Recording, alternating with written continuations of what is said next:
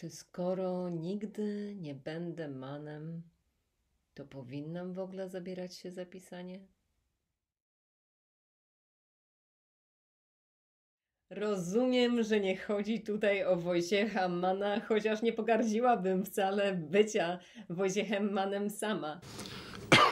Natomiast rozumiem, że autorka pytania miała na myśli innego Mana. Mana, który krąży w głowie wielu pisarzy, którzy aspirują do bycia wielkimi, uznanymi pisarzami, którzy mają okazję przeżyć tą wielkość i sławę na własnej skórze za własnego życia. Mówimy tutaj oczywiście o Tomaszu Manie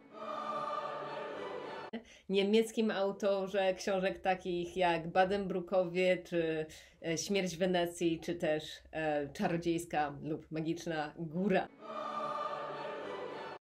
E, te książki były dla mnie bardzo ważne w czasach nastoletnich i muszę powiedzieć, że rzeczywiście w dużej mierze przyczyniły się do tego, że zaczęłam poświęcać całą energię i czas pisaniu. Domyślam się również, że autorka tego pytania nie ma na myśli życia osobistego Tomasza Mana, które było co najmniej skomplikowane i szczerze powiedziawszy w dużej mierze traumatyczne, ale jego pisarską karierę, która została wynagrodzona jeszcze za jego życia e, chociażby Nagrodą Nobla i, i wiele tekstów zostało zainspirowanych i powstałych w wyniku jego powieści i opowiadań.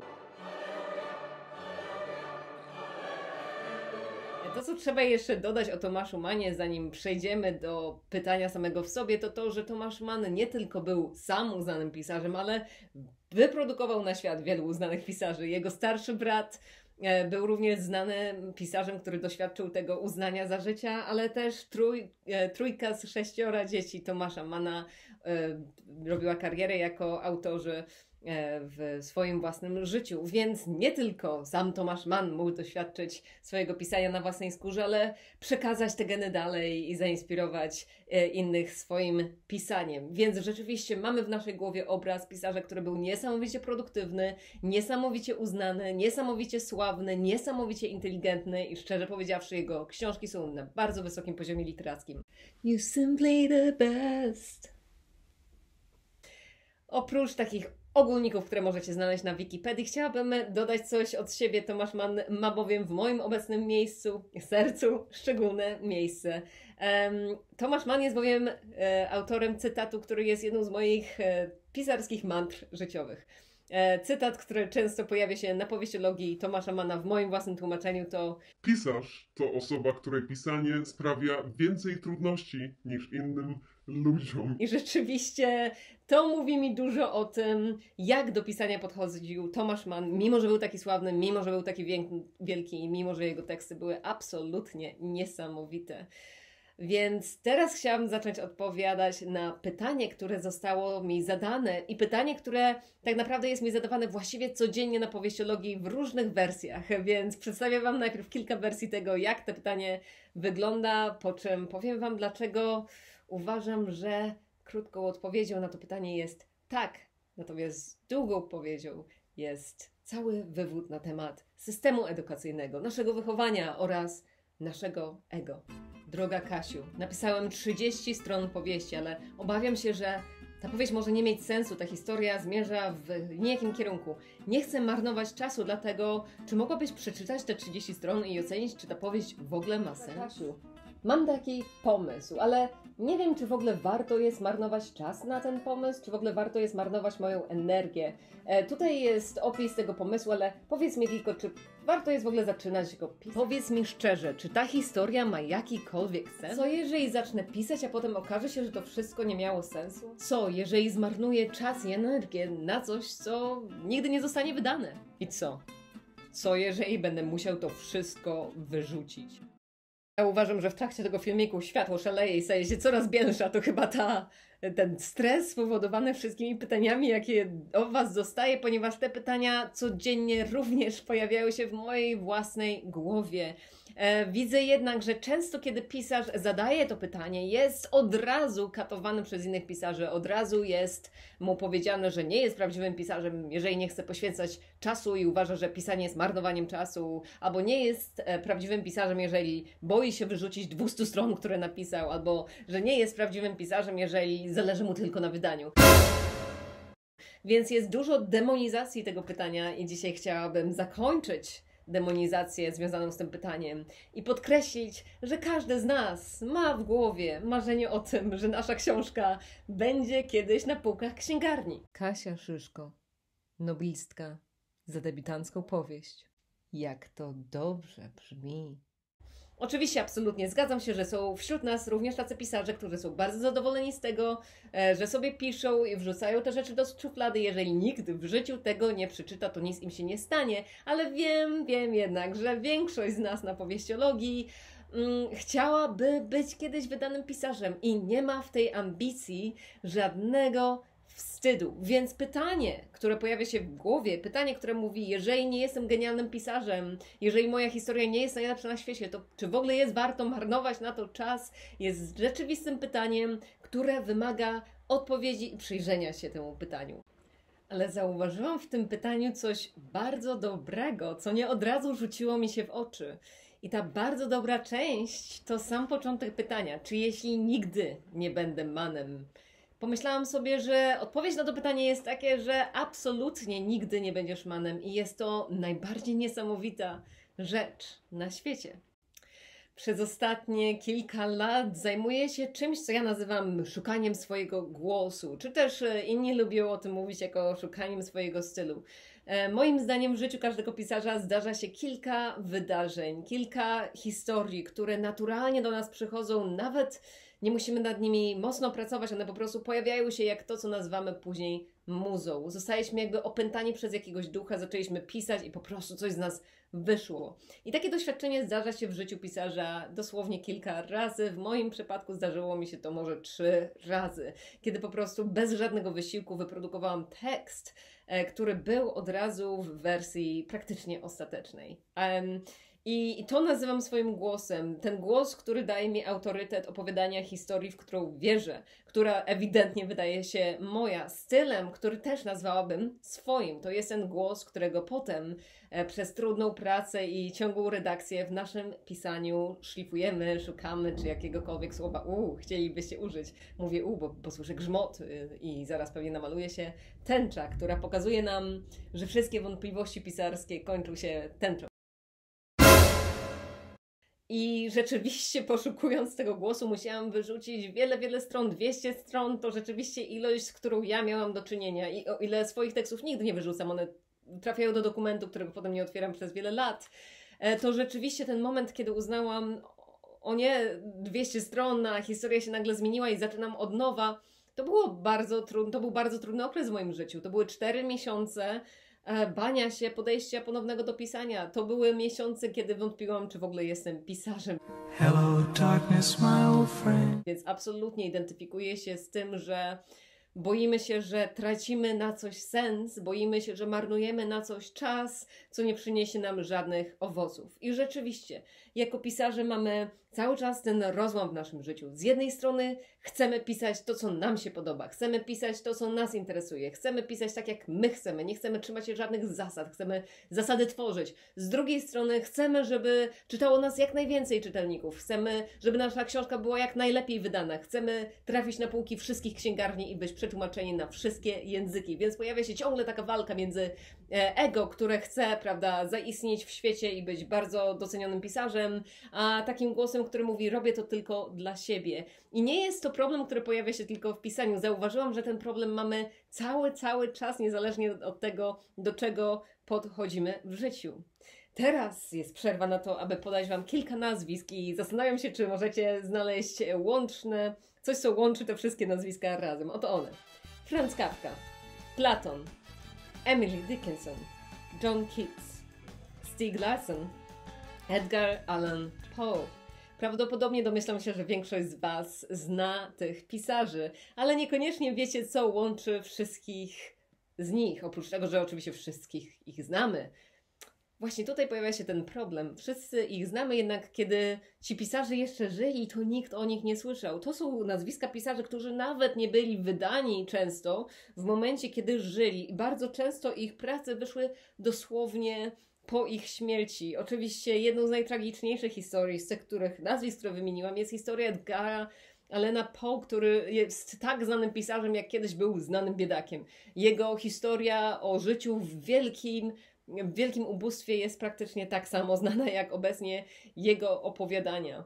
Um, historia Stiga który umarł dosłownie chwilę przed tym, jak miał się stać jednym z naj, naj, największych nazwisk w świecie kryminału. A Franz Kafka chociażby, to takie strasznie kawkowe, nie, nie być sławnym pisarzem za życia i dostać doznionym dopiero długo po śmierci. Więc to są pisarze, którzy pisali mimo tego, że nigdy nie stali się sławni za życia. I domyślam się, że to jest też grupa pisarzy, która bardzo często siadając do biurka miała w głowie to pytanie, czy to, co robię ma sens, czy to, co robię ma sens, czy ja przypadkiem marnuję czas. Skoro nigdy nie będę jak ktoś inny, to, to czy w ogóle mam się starać, czy w ogóle jest sens pisać?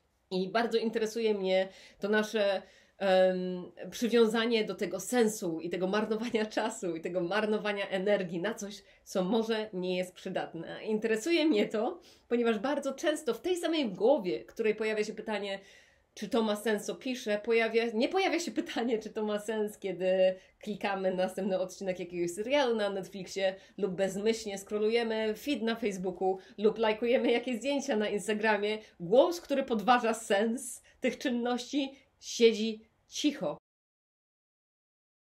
Więc dlaczego w sytuacjach, kiedy ewidentnie marnujemy czas, bo przeglądanie zdjęć przez godzinę dziennie na Instagramie jest zdecydowanie większym marnowaniem czasu niż robienie jakiegokolwiek projektu, gdzie robimy coś kreatywnego i coś tworzymy.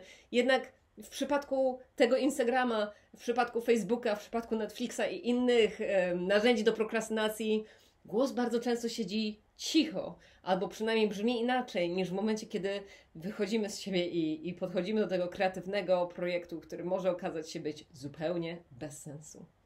Mam kilka teorii, którymi chciałabym się z Wami podzielić, jeżeli chodzi o to, to, to, miejsce, gdzie ten głos się pojawia, czyli głos nie pojawia się, kiedy jest godzina 10 w nocy, my mamy się budzić o 6 rano, ale siedzimy na Netflixie i głos pojawia się w momencie, kiedy mamy 15 minut między jakimiś zadaniami i sięgamy po długopis i kartkę. Głos, który mówi, a co jeżeli to nie ma sensu, chce zagrażać naszej powieści, ale nie zagraża naszemu marnowaniu czasu na maratony na Netflixie. Więc chciałam się podzielić tymi teoriami, które w mojej głowie się pojawiły. Numer jeden to to, że wszyscy marnujemy czas, więc mamy na to społeczne przyzwolenie. Jest to bardzo szokująca prawda, ale ja nie jestem jedyną osobą, która marnuje czas na Facebooku. Ja nie jestem jedyną osobą, która siedzi na Instagramie. Ja nie jestem jedyną osobą, która wchodzi na YouTube i ogląda e, filmiki na auto wyświetlaniu. E, wszyscy z moich znajomych to robią, co sprawia, że poczucie winy związane z prokrastynacją bardzo znacznie maleje. Skoro każdy to robi, to to nie jest takie straszne. I szczerze powiedziawszy, bardzo często czuję się winna, kiedy ja tego nie robię. Pamiętam, kiedy rozmawiałam z moimi przyjaciółmi, którzy oglądają dużo serialów na Netflixie. Miałam przyjaciela, który oglądał seriale, nawet jeżeli mu się one nie podobały. Potrafił na przykład poświęcić czas na dwa sezony jakiegoś serialu i potem powiedzieć, że żaden odcinek mu się nie podobał kiedy rozmawiałam z tym przyjacielem, często czułam się winna, że ja nie marnuję czasu w ten sposób, że ja nie oglądam seriali, które mnie nie interesują, no bo dlaczego? Dlaczego nie? To były takie pretensje z jego strony, że ja nie siedzę i nie daję szansy, nie wiem, 10 odcinków serialu, zanim mi się spodoba albo go ocenię. E, I kiedy wolałam robić coś, co wydawało mi się kreatywne, albo e, co ja chciałam zrobić dla siebie i co co było czymś, co nie wiem dokąd mnie doprowadzi, to często spotykałam się z krytyką moich znajomych, ponieważ oni tak nie mają, oni nie mają na to czasu. E, bardzo często pojawia się taki argument, kiedy mówimy o pisaniu powieści. No, jak gdybym ja miał czas, to też bym pisał powieść, ale nie mam czasu. I nagle coś takiego tworzy nas poczucie winy, że o mój Boże, to może my mamy za dużo czasu, więc lepiej wykorzystajmy go na Netflixa albo na scrollowanie rzeczy na Facebooku. Bardzo polecam Wam moją zasadę pisania 10 minut dziennie, ponieważ to jest szukanie tych małych przestrzeni, żeby znaleźć czas na pisanie. No i, a, a nie to, że musimy nastawić się na całą godzinę pisania. Czasem rzeczywiście cała godzina pisania nie jest możliwa. Ale jednocześnie zastanawiam się, kiedy ostatnio mieliście czas na 20 minut jakiegoś odcinku na Netflixie, a nie mieliście czasu na 20 minut nad kartką papieru. I moim zdaniem jedną z moich teorii jest to, że wszyscy marujemy czas, więc czujemy małe poczucie winy. Druga moja teoria polega na tym, że nasz system szkolnictwa i wychowania jest przeciwko błędom. I ja strasznie tego nie lubię i, i zajęło mi całe moje dotychczasowe życie wyjście z tego programu, który każe mi się bać popełniania błędów. E, Kiedy jesteśmy w szkole, to każdy błąd jest oceniany niską oceną. Dostajemy dosłownie jedynki za to, że czegoś nie rozumieliśmy. To jest takie typowe w naszej edukacji. Więc w wyniku takiego programowania dzieci, każdy potem boi się wyjść do świata i popełnić błąd. Natomiast pisanie oczywiście wymaga od nas eksploracji. To znaczy, że idziemy w jakimś kierunku, a potem okazuje się, że to nie był ten kierunek, więc musimy się cofnąć i iść w innym kierunku. Jest to totalnie normalne, wręcz jest to potrzebne do odkrycia historii. Jednak dlatego, że nikt nie wychował nas w taki sposób, żeby akceptować taką drogę i taki proces, który jest procesem eksploracji, a nie binarnym systemem złe, dobre, złe, dobre, to nagle boimy się iść w coś, gdzie nie wiemy, jaki jest ten cel. I, i to brak tego wyraźnego celu, brak tego, że to jest uznane przez wszystkich i dobre, i, i dostajemy pozwolenie ze społeczeństwa, że tak powinniśmy robić i że jest jakiś proces od A do B do C do D, który doprowadzi nas do końca powieści. Brak tego wszystkiego jest tak niezgodny z naszym wychowaniem, że nie wiemy, jak się zachować, e, kiedy spotykamy się z pisaniem powieści. I, I za każdym razem, kiedy okazuje się, że jakieś zdanie nie jest idealne, od razu zaczynamy się bać, że pewnie coś zawaliliśmy i nie jesteśmy dobrymi pisarzami.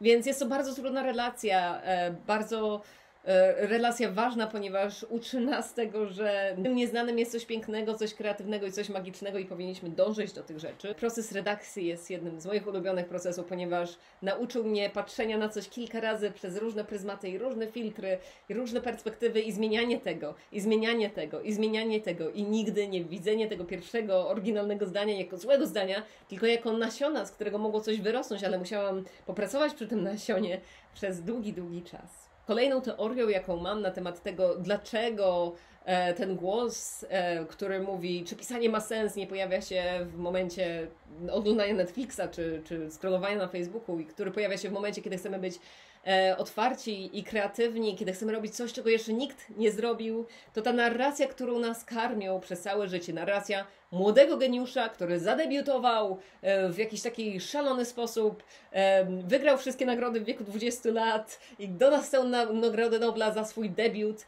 I generalnie od samego początku wiadomo było, że jest geniuszem. Nie musiał nad tym pracować, to samo do niego przyszło, ma lat 16 i jest już uznanym pisarzem. I ta narracja jest absolutnie fałszywa, jest bardzo rzadkim przypadkiem, ale jest karmiona do nas w taki sposób, jakby to była norma. Jak, jakby geniusze pojawiają się wszędzie i skoro my nie jesteśmy tymi geniuszami, to znaczy, że nie jesteśmy tymi dobrymi pisarzami, że pisanie to nie jest coś, co się rozwija, tylko to się ma albo się tego nie ma. E, pojawia się to w bardzo wczesnych latach swojego rozwoju i pojawia się to już w skończonej formie od razu. Więc e, takie karmienie nas narracją młodego geniuszu sprawia, że jeżeli ktoś ma lat 30 i nie ma genialnej książki za sobą, to uważa, że może to, co robi, nie ma sensu. Więc warto przyjrzeć się tym narracjom i zobaczyć, ile one mają wspólnego z prawdą. Czasem oglądanie wywiadów z tymi wielkimi geniuszami naprawdę pomaga, ponieważ oni bardzo często mówią, że jest to 10 tysięcy godzin, bardzo długie godziny pracy, pisanie po nocach, uczenie się, rozmawianie ze wszystkimi pisarzami. I nagle słyszymy, że ta narracja, którą karmią na nas media, jest inna od tej, którą mówią same osoby zainteresowane. Więc to jest taka moja teoria. Teoria geniusz jest tak e, am, am, niesamowity i, i rzadki, że to na pewno nie my, więc po co się zabierać, skoro i tak nie będziemy jak ten geniusz.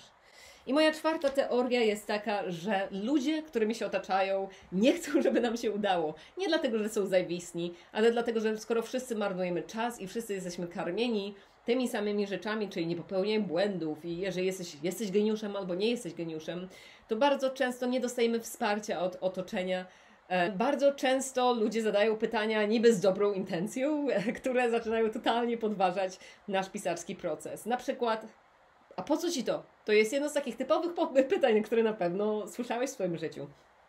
A po co ci to w ogóle? Piszesz książkę, mówisz komuś, piszę książkę, ktoś się pyta, a po co ci to? I ty właściwie nie wiesz, po co ci to. Po prostu historia do ciebie przyszła, chciałeś ją napisać i nigdy nie zastanawiałeś się, po co ci to. Nie wiedziałeś, że to musi być produktywne. Nie wiedziałeś, że z tego mają być jakieś pieniądze. Ale bardzo często w naszym społeczeństwie właśnie tak to wygląda. Robienie czegoś tylko i wyłącznie dla siebie jest zakazane. Generalnie musisz robić coś tylko i wyłącznie w momencie, kiedy na pewno przyniesie to jakieś pieniądze, na pewno jest to produktywny projekt i na pewno coś dzięki temu osiągniesz. I jeżeli te trzy rzeczy nie są przyczepione do Twojego projektu, to powinieneś go zostawić w cholerę. I szczerze powiedziawszy, jest to jedna z najstraszniejszych rzeczy, jakie można usłyszeć i się bardzo zdołować i zrezygnować z pisania. Ponieważ ciągle jest to podważane przez ludzi pytaniami typu a po co Ci to? A zarobisz na tym jakieś pieniądze? A, a na co ci to? A co jeżeli tego nikt nie wyda? A co jeżeli tego nikt nie wyda? A co jeżeli tego nikt nie wyda? I generalnie słysząc takie pytania, wątpliwości, niby pozytywne intencje, a tak naprawdę rzeczy, które cię odciągają od projektu, który w tym momencie powinien być tylko i wyłącznie wynikiem Twojego pragnienia eksploracji czegoś kreatywnego, sprawia, że wielu pisarzy przestaje pisać. Po prostu. Miałam mnóstwo znajomych na początku, którzy pisali. Oczywiście, jak człowiek był nastolatkiem, to było nas, było nas tak dużo, wszyscy chcieli pisać. E, I nagle zostaje tylko ja na przykład, która nadal pisze. E, I oczywiście w tym momencie człowiek myśli, że jest jakimś naiwniakiem, jest jakiś głupi, że, że trzeba było to rzucić, przecież z tego nie ma żadnych pieniędzy, albo przecież to do niczego nie prowadzi, albo po co mi to, po co mi to? Powinnam się zająć czymś pożytecznym. I nagle takie głosy potrafią nas totalnie odciągnąć od tego projektu. Chciałabym, żebyśmy zanim zakończyli ten filmik, pomyśleli jeszcze raz o tych wszystkich nazwiskach, które przeczytałam. Stig Larsson, e, Franz Kafka, Platon, czy też nawet są nazwiska osób, które były trochę uznane, ale zupełnie nie tak jak są teraz, jak Jane Austen, H.P. Lovecraft, któremu udało się chyba wydać e, opowiadania w dwóch magazynach. Brawo, H.P. Lovecraft. Osoby, które jak Emily Dickinson, która nigdy nie została wydana. Osoby, które właśnie nie były sławne za życia. I zadać sobie pytanie, co by było, gdyby one nie pisały nadal? Nie mielibyśmy tej literatury, jaką teraz mamy. Nie mielibyśmy ukochanych pisarzy, e, których, których kochamy tak bardzo, którzy nas inspirują do pisania. I nie wiedzielibyśmy, co by się stało z literaturą, gdyby nie oni. I to byli pisarze, którzy mimo, że nie byli wydani, mimo, że nie wiedzieli na co im to i po co im to i może nawet nie mieli z tego pieniędzy, no większość z nich nie miała, to byli pisarze, którzy zaufali swojemu głosowi, temu, który mówił, piszę, bo chcę pisać, bo chcę eksplorować tą historię, chcę zobaczyć, co się stanie, jeżeli poświęcę jej trochę czasu. I chciałabym, żeby zostawić Was tą inspiracją. Nie z tym, że u, może umrzemy i nikt nas nie wyda, ale piszemy jednak dla samego pisania i, i naprawdę nie wiemy, co się z nami stanie. Może nie będziesz Tomaszem Manem, ale będziesz sobą i może okaże się, że ten ktoś, kim jesteś, jest dla kogoś tak ważny jak Tomasz Mann w przyszłości, albo nawet niedługo. Ale jeżeli nie zaufamy swojemu głosowi, jeżeli nie zaufamy temu magicznemu, dziwnemu, tajemniczemu procesowi, który prowadzi nas w nie wiadomo jakim kierunku, to nigdy tego nie odkryjemy, więc nie poddawajcie się. Um, I eksplorujcie historie, które w Was są. I teraz przejdę w bardzo nieelegancki sposób do promowania warsztatów. W sobotę, 18 lipca tego roku, czyli dosłownie za dwa tygodnie, odbędą się warsztaty kreatywnego pisania online to będzie jeden intensywny dzień warsztatów, mnóstwo praktycznych ćwiczeń, które możecie zabrać do domu. E, będziemy zajmować się tworzeniem postaci od jej pierwszych kroków. Czyli jeżeli macie w głowie jakiegoś bohatera, ale nie wiecie jak go ująć, albo jeszcze nawet nie macie bohatera, ale chcecie go poznać, to ten dzień jest idealny na to, żeby to zrobić. Bilety są dostępne na stronie, która gdzieś się pojawi w linku. I, bardzo serdecznie Was zapraszam na te warsztaty. E, jestem z Was bardzo dumna, cieszę się, że wysyłacie mi te wszystkie pytania, wysyłacie mi i dalej i powiecie, co wy myślicie na temat tego, żeby pisać nie wiadomo dlaczego. czy jeżeli nigdy nie będzie z Tomaszem Manem, to czy warto zawracać sobie głowę pisaniem? E, a ja na razie wracam do pisania e, i do zobaczenia. You simply the best.